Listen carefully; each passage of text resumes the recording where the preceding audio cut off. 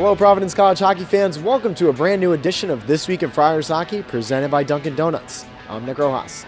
It was an exciting weekend in Miami of Ohio as the Friars took two against the Redhawks, including a last minute goal by Kasper Björkqvist to cap off Saturday night's win.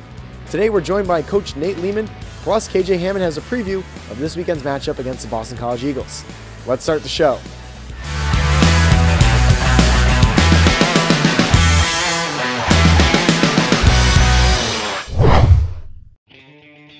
The Friars were looking to start off the season on the right foot when they played a pair of games against Miami of Ohio.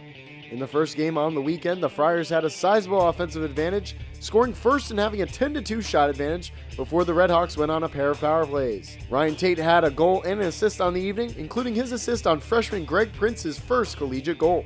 Josh Wilkins also chipped in with the third goal, while Hayden Hawkey had 31 saves on the evening. 3 1 was the final.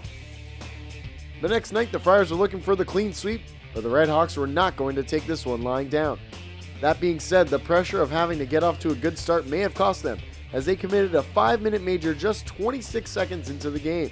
The Friars converted twice on the power play, with Vimal Sukumaran and Erik Foley scoring goals with a man advantage. The Redhawks would tie things up later on in the game, but with under a second to go, Kasper Björkqvist cleared the crease for a goal to earn their second win in a row. The Friars won 3 2.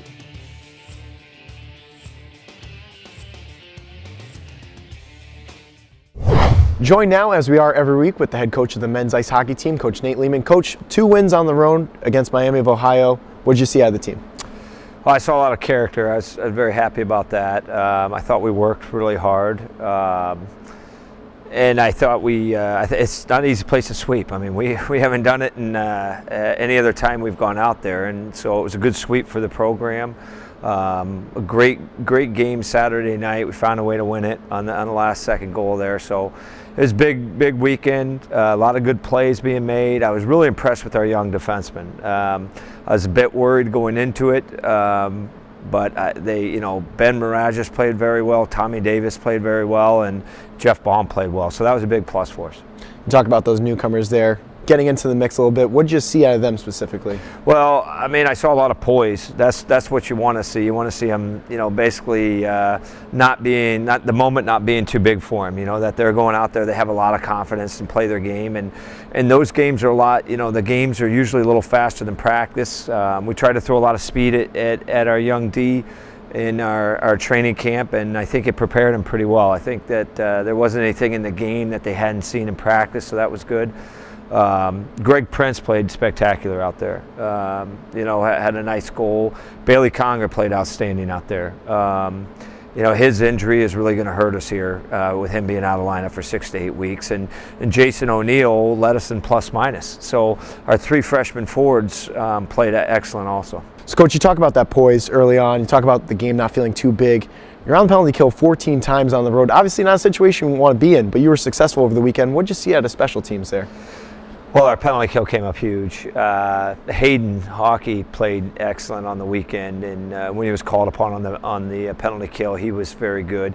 I thought we had very good pressure on the kill. Uh, I thought for the most part our forecheck was pretty good. We started to get on our heels, and and we gave up our line once easily in uh, in the second game on the penalty kill forecheck, and it cost us. That was the one goal that we gave up. So.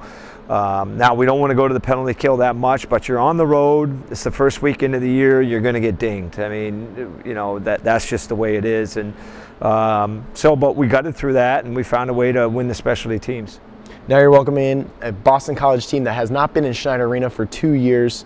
Uh, last year, a little bit tough generating some offense. What's going to be the key to turn things around this year in this week's match? Well, having them in our building is going to be big. Like you said, I mean, we finished two points out of first place last year, and we, and we didn't have them in our building. So uh, I did mention that to the guys that you have to take advantage when you when you have top five teams in your building. I think. Uh, you know, of those top four teams last year, we only had two home games, and so we have to take advantage of these games.